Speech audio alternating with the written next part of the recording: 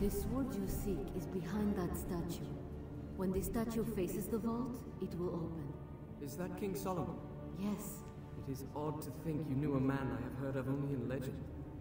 I cannot imagine your legends do him justice. He was a wise ruler and a kind man.